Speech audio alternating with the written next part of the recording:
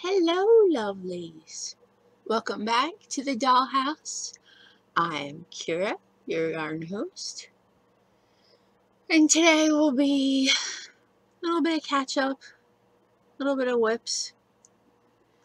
I have been really sick the past week, so I've been slacking terribly on my YouTube channel. I apologize greatly. I'm feeling a little better. I'm still in the middle of antibiotics, so fingers crossed.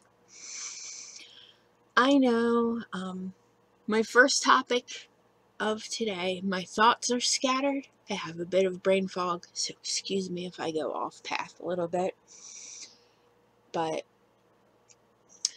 I have been ADHDing about I want to do granny squares. I want to do granny squares. But once you make a granny square, your brain goes, I did that, now do something else. So my husband suggested, well, why don't you just make a big granny square? You know, this makes my ADHD happy because it's a blanket and I can keep making big granny squares and it doesn't feel like I'm doing the same thing over and over and over and over. Now this one I have made with Premier Yarns for sweet roll. Everybody loves a sweet roll. This is Black Pepper Swirl, 100% acrylic, machine wash, tumble dry, 245 yards, 140 grams. I use three of these. This is not the prettiest skein, but it's the only one I have left. I, if I knew I had this one, I would have used four skeins, but I found this one. So I used three skeins of black pepper swirl, and I used one. I know a lot of people are, are, are really upset about brand mixing, but Joann's Big Twist in gray ombre goes very nicely with the, with the black pepper swirl. It's almost the same texture and it's close enough that once you have the finished product, you can run your hand along it and you can't tell which yarn is which. You can't tell it's a different yarn. I wish I had a bigger space to show you. But I have made a ginormous granny square. And I love it. And I'm thinking about making four of these and then sewing them together for a blanket. I think it came out pretty good. You'll have to excuse my wild hair today. But this was really a lot easier than I thought. It's just the simple granny clusters with half double border all the way around. And I figured I liked that one so much that now I am starting on this one.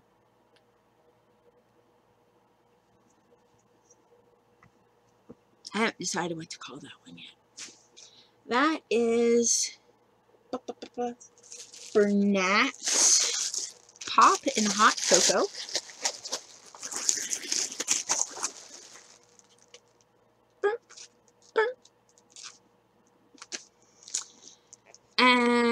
Bernat's 100% acrylic. Trying to find the wash instructions.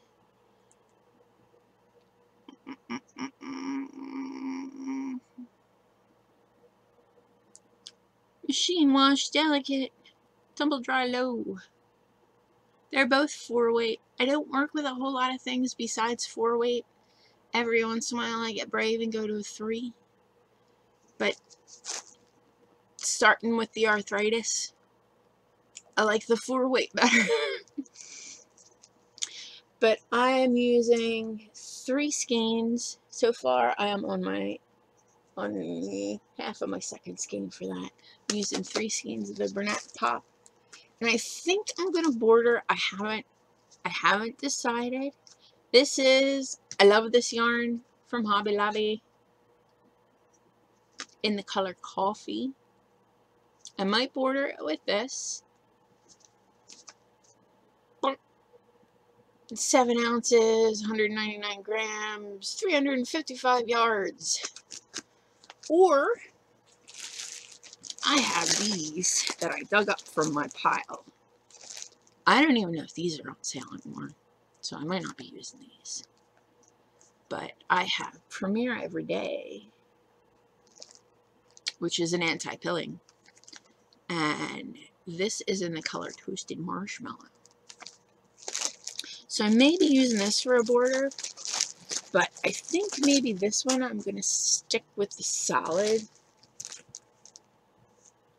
since the yarn is, is primarily like primarily primarily a solid. So this one with the black pepper swirl, it's all variegated. You might not be able to see because my camera, but each color has a little bit of every other color in it. So I figured a variegated border would work really well on this.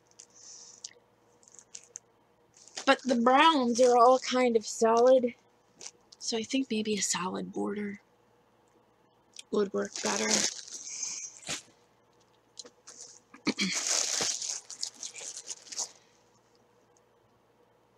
when you make color planned projects from cakes, all you have to do is dissect the cakes.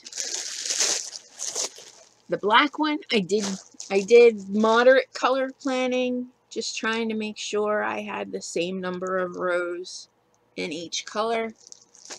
This one, not so much. I'm just kind of letting the yarn do what the yarn does. So I'm not having to dissect as many cakes for this. So I did pull out the little core of this skein so we could match the colors that I ran out on the other skein. Um, sales are going a little slow. But, you know, your sales are only as good as your outreach is. And I can't do craft fairs and things like that because I have very little immune system that functions properly. So I'm pretty much relegated to online sales or word of mouth sales. So yeah, if anybody wants to find me on, on Twitter, I'm Dollhouse Kiera on Twitter. And just DM me. Let me know what you want. If I can make it, I'll make it. Trying to get the sales up. Medication's getting expensive. Um, my antibiotics are $3,000 for 60 pills, which is a 30-day supply. Something's got to be done about healthcare. So, I am going granny square bonkers. I can't seem to make, I can make one little one and then my brain's like, nope, not making more, do something else. So, if you're wanting to make a granny square, but you have the, I did that, now let's move on kind of mindset, try making them big. These are just made in a spiral easy peasy. Um, I don't even think I went off of anybody's pattern. I just kind of, I knew how to do the granny clusters from making shawls. So I just kind of granny clustered away. Um, hot take, I don't like magic circles, magic rings, uh, whatever you want to call them. Do not like. I. I can never, I, I don't know whether I don't have the dexterity for them or just brain no work. I find it easier to do a chain of four and then slip stitch and then use that for my chain. Arguably, when you pull your tail, it doesn't close as tight as a magic ring. But I don't mind the little circle in the middle because the whole blanket has gaps in it So that little circle in the middle, if it doesn't close up for you, which mine closed pretty well. So you can see the middle is in between my fingers here. My circle closed pretty well. Sometimes it doesn't, sometimes it does. But I just did grannies in a spiral until I was happy with it. Single stitch, slip stitched, tied off, and then just half double all the way around a couple times to get a nice border. I am forever playing yarn chicken.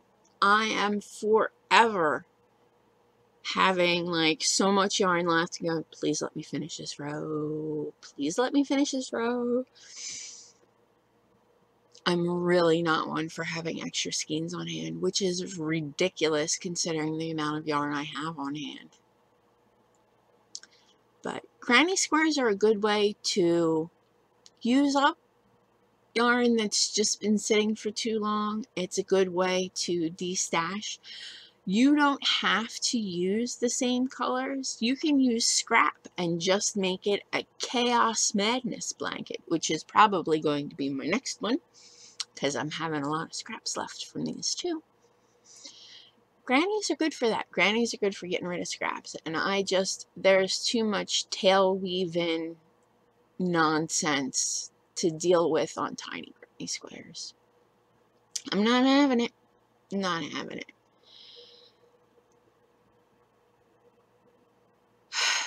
Still trying to get my brain together this morning. Excuse me. Coffee? Coffee is good.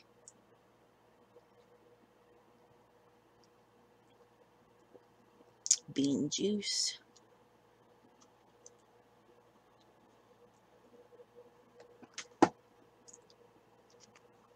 Um, still on the cotton kick. I got an order for some coasters for the autumn season, so I'm just kind of cranking those out in between. It's nice to have two projects. I have brain set where focus is a problem, if you can't tell it's kind of obvious. So I like to have two projects going at once. So if you ever get to the point that you're going, uh, I don't feel like doing this, then you have something else to pick up and work on. So I have my, my little bag, my little bag of cotton coasters. And this is my side project. So when I get tired of making blankets, I make mug rugs. I think mug rug is fun to say. And what is it? It's a little rug for your mug. It's a mug rug.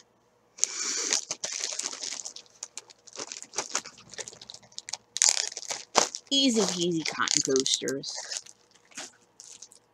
You can do those in double crochet. You can do those in half double. I like the cotton coasters in half double just because it gives you a more solid project, and I know how my kids are with glasses with ice in them. So the more cotton yarn in a coaster, the better.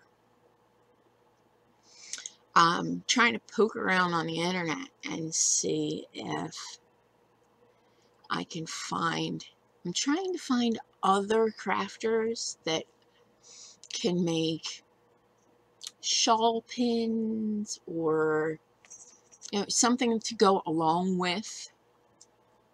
Um, I tried finding somebody to 3D print buttons for me, but so far the people I've asked have not been able to, to their satisfaction, meet my specifications. So, still working on that. I am entirely down to buy handcrafted buttons instead of getting big bags of buttons from a big box retailer. I would rather pay somebody to make them just to know that they're handmade. You know, eh, it's little touches. You don't want to take a beautiful handmade yarn shawl or wrap or whatever and you know, have some kind of mass-produced knick-knacky thing with it. So, trying to connect with some other makers. Um, I've connected with a couple woodworkers and we're talking about shawl pins. And if you don't know what a shawl pin is, um, usually it's a two-piece thing where you have some kind of open shape. Let me see if I can find one in my kit. You have some kind of open shape.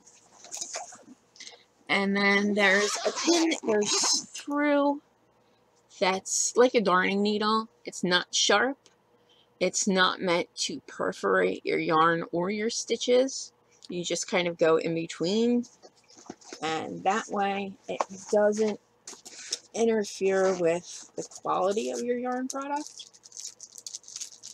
You know, then you don't have to worry about it splitting your yarn or breaking your yarn. There's one. And basically, another thing that these big granny squares are good for, if you fold them diagonally, they make a nice shawl. But, excuse camera angle, I will show you how this works. Basically, you put the open end here, you take the shawl pin and you go between the stitches and then you poke out the other end and you see it'll keep your shawl in place. You can move, you can hop around, and your shawl won't fall down. I think these are brilliant. Whoever came up with these is brilliant. I love these. And my next handful of orders are going to get, these ones are wooden. They are mass produced. Trying to find a local guy that'll make them for me. But my next couple orders are going to get a shawl pin. Just as a little bonus, little added thank you. And like I said, trying to find a local woodworker so I can give, you know, another artist some exposure while I try to get exposure for myself.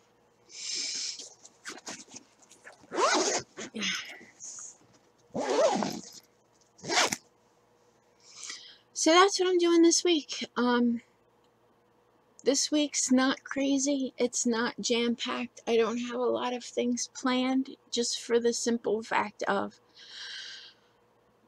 I feel awful. So, this is going to be short and sweet.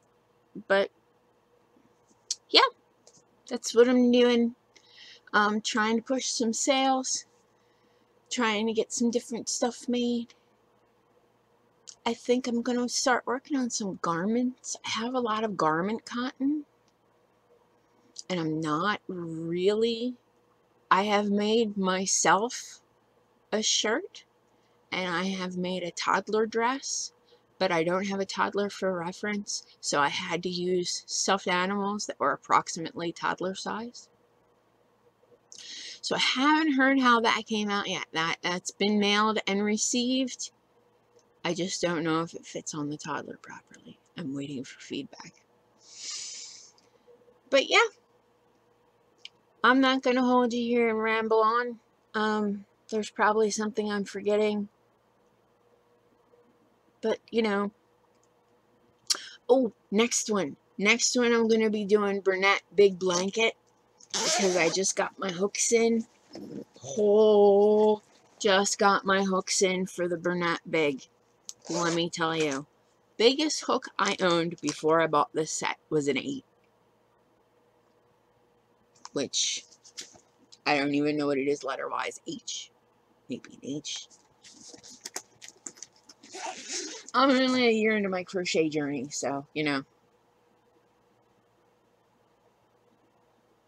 Oh. USL 11. And 8 is a USL 11.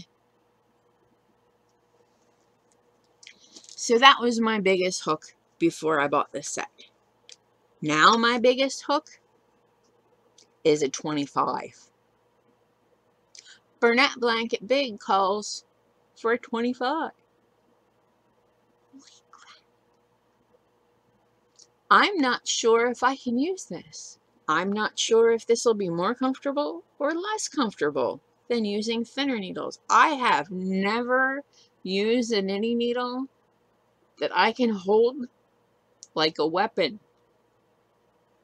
But I will. Because I have two skeins of Bernat Blanket Big. And I have two skeins coming in that coordinate with it because I can't find any more of the red splash because it's out of stock. It's out of stock online. Several stores in my area do not carry it, and it is a Michaels exclusive for the red splash color. So, I have had to contact stores out of my area. I have had to contact stores in other states and see if they'll mail it to me, which they won't. So, I'm still trying to get my hands on more of the Bernat Blanket Big in the Red Splash. But I have two skeins, and I have never used a chunky yarn. So, I mean, I have used a chunky yarn. I have never used a jumbo yarn. I have never used yarn as big as Bernat Blanket. And I'm not a big fan of chenille, but I am a big fan of the color Red Splash, especially for spooky season. So that's going to be my next vid. I feel like I'm threatening you. Keep shaking this. Alrighty. So, I am going to rehydrate, take some meds, get my nicotine in. Today's nicotine of the day is Vape Craft.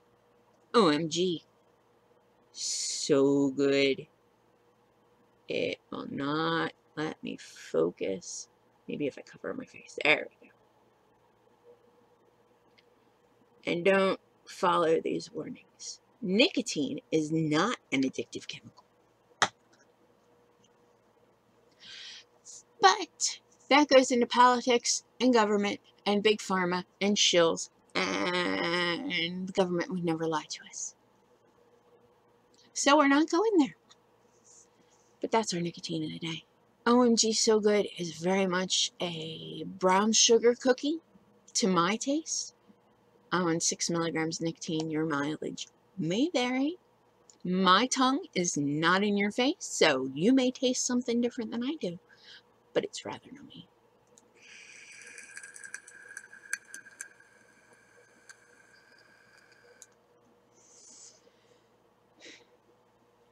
So I got my nicotine, I got my coffee. I got my podcast in. I guess this is a podcast. I don't know what else to call this. But brain fog, so maybe that's not the right word. Eh. Okay. Thank you for joining me. Again, I appreciate you being here so much. I appreciate you watching my silly ramblings. Hopefully, I have helped somebody out. Because, you know, I started to crochet. My mother-in-law taught me the basics. And she said, I will teach you to crochet if you make me some pot holders. I said, okay. And I made her some pot holders. And I started making a blanket. Then it got to be too much. And, and my life got a little too crazy. And the blanket ended up in a bag in my closet. And then moving to another house. And then moving to another house. And it's been in like four closets. So the last time it fell on my head, I decided to finish it. So finish that blanket. Uh, just kind of finishing that blanket kind of got me started on I'm stuck in the house. I have a whole lot of time. And I don't just want to sit here and watch TV. Or the internet. Or whatever. So, I picked up some supplies and I started crocheting again. So I'm reteaching myself. And I'm learning all kinds of stuff. And I want to give a very large thank you to Crystal from Bag-O-Day and Cinnamon from Cinnamon Stitches. If you don't follow both of those, I would suggest go learn. They're good people. They seem to be good community people And I have learned a lot from them, picking this back up and trying to remember. It's a lot like riding a bike, except when you fall off, you don't get hurt. You never really forget how to crochet. And if you make a mistake, it's not a big deal. Your stuff doesn't have to be perfect. Homemade things don't have to be perfect. Um, that's why they're one of a kind. You don't have to crochet just like someone else. I just found out there's two different holds for a crochet hook. I have to go look that up because I didn't know there was another way to hold. Apparently I am a knife, I am a knife hold crocheter. But your stuff doesn't have to be perfect.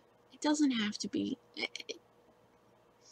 I have gone bonkers finding mistakes three rows later and frogging it back and doing it again. And it's just not worth all the stress. You don't have to make that pattern perfect. You don't have to make that pattern exact. My phone's ringing. You don't have to be the world's best crocheter. Just crochet. Just enjoy what you're doing. I make a mistake. I call my stuff Canna Crochet because most of the time I am medicated and I am going to make mistakes. And that's okay because stuff happens. Stuff happens. And you can decide to frog it back and fix it. Or if it's a thing like my major problem is when I have to put the project down, I have to go do something, and then I come back to it. A lot of times I forget that third double crochet in the granny squares. Don't stress. It's not that big of a deal. You should not stress about something that you enjoy doing. This is supposed to be relaxing. So do what you feel. You do you. Just let the crochet happen. I know that's that's kind of a hot take and it shouldn't be. But I don't sell my stuff as perfect things. I don't sell them as perfect creations. I sell them as functional art. Anything fits under the category of functional art and crochet. You are making art you wiggle that little stick around and you mumble some words to yourself and all of a sudden yarn becomes a fabric. That's magic. And if you focus on things and you can put your intent into that, it's even better. When I crochet, I have a mantra of safe, warm, and well. And as I'm doing, my brain's just going safe, warm, and well, safe. It's kind of meditation. Safe, warm, and well, safe. And you put that intention, I put that intention in everything I make. And it might not do anything. But it might.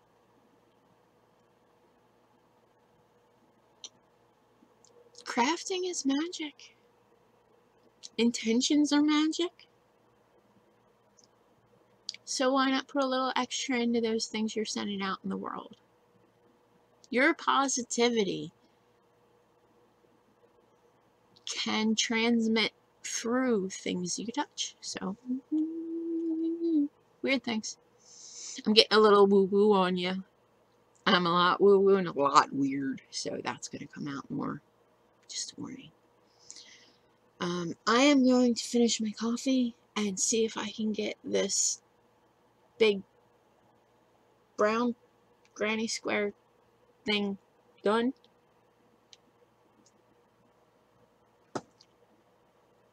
And then I'm going to have to find something else to work on.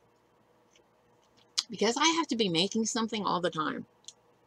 I have to keep my hands busy. Keeping my hands busy keeps my brain busy. And that doesn't leave me time for wallowing a lot of times when you're stuck in the house, you can get stuck in your head, and it's not always a good place. So, Positive intentions. Send more good out into the world. The world needs more good. The world needs more good people. The world needs more good. So I put positive intentions in everything I make. Positive intentions mean a lot. All right. Thank you for joining me, lovelies. I appreciate it. I am so grateful to be here. I am grateful that people are watching my content. I'm surprised that people are watching my content, but I'm grateful for you to be here. So thank you. From my heart, thank you very much. It really does mean a lot. And I will be back in the next couple days when I'm done these granny squares and once my other brunette yarn comes in.